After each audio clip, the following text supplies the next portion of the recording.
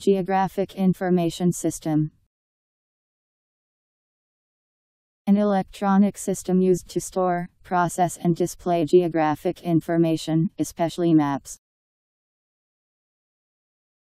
G E O G R A P H I C I N F O R M A T I O N S Y S T E M